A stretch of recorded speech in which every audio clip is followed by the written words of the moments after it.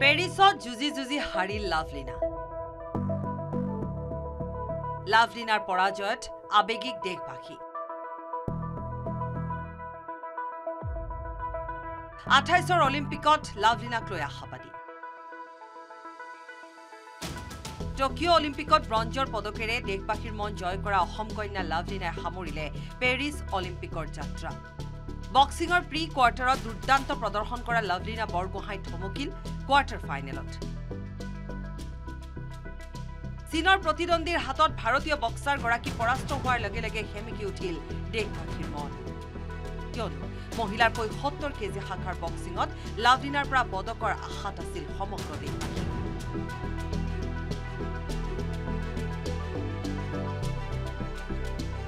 মহিলাৰ পঁয়সত্তৰ কেজি শাখাৰ কোৱাৰ্টাৰ ফাইনেলতে চীনৰ প্ৰতিদ্বন্দ্বী লি কিয়ানৰ হাতত চাৰি একৰ ব্যৱধানত পৰাস্ত হল অসম কন্যা লাভলীনা।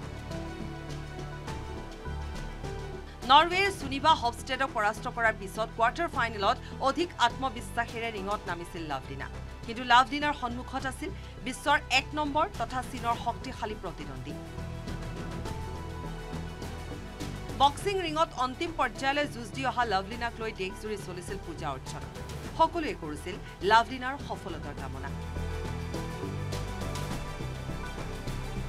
কিন্তু কোৱাৰ্টাৰ ফাইনেলত বিশ্বৰ এক নম্বৰ বক্সাৰৰ হাতত পৰাস্ত হৈ পেৰিছ অলিম্পিকৰ পৰা বিদায় ললে লাভলীনাই।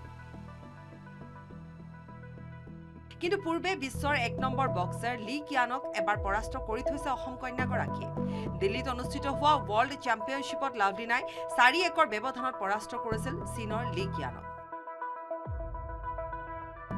অৱশ্যে ইয়াৰ পিছত তিনিখন খেলত ক্ৰমাগতভাৱে চীনৰ প্ৰতিদ্বন্দ্বীগৰাকীৰ হাতত পৰাজয়ৰ সন্মুখীন হয় লাভলীনা।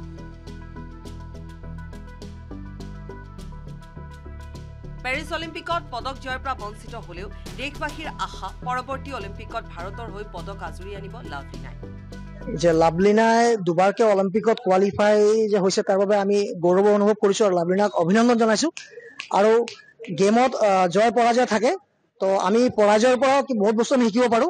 মই ভাবো আজি গেমত কি হৈছে সেইখিনি লাভলীনাই পিছত চাব। আৰু আগন্তুক দিনত লাভলীনাই আকৌ অলিম্পিকত লাভলীনাই কোৱালিফাই হোৱাৰ কাৰণে চেষ্টা কৰিব। আৰু তাইৰ যি অলিম্পিকত কোৱালিফাই মানে মেডেল বুটলিবলৈ যি তাইৰ আশা যিটো হেঁপাহ আছে মই ভাবো সেইটো তাই বাস্তৱত পৰিণত হ'ব বুলি মই আশা কৰিছো।